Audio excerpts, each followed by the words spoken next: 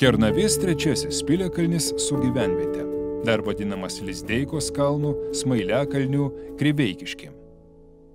Kernavės trečiasis piliakalnis – tai Aukuro piliakalnio priešpilis, 13-14 amžiuose naudotas.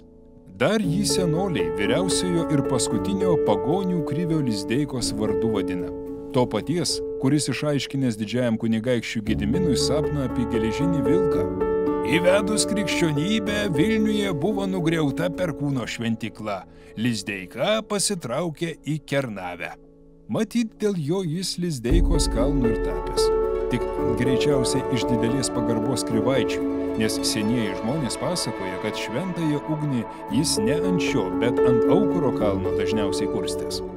Kalvos forma smailoka, tad vietiniai dar ir smailekalniu ją vadina. Tik tie patys žilagalviai atsimena, jog kalnas jau gerokai seniau žmonėms tarnavo.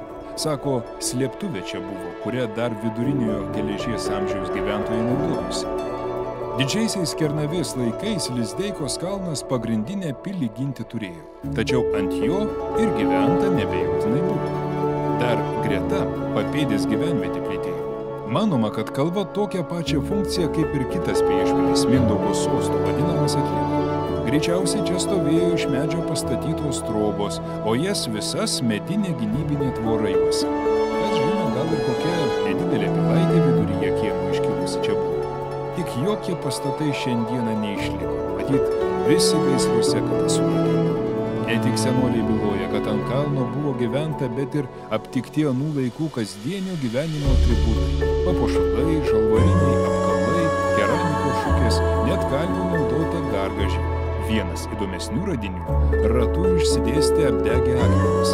Nežinia, daug kur čia būta, o gal amžinųjų mėgų didis žmogus kalne miega. Tik ūkio šios kalbos niekas netiko.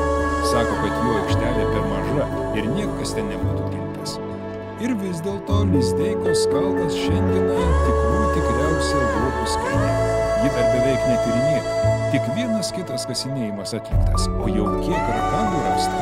Kas žino, kokia senosios Lietuvos didžiosios kunigaikštystės paslaptis Romus Mailekalnis slepia.